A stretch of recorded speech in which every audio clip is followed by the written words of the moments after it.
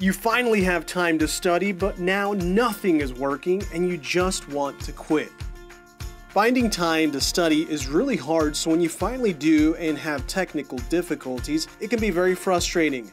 You'd like to call your teacher, but your teacher isn't always working when you're studying.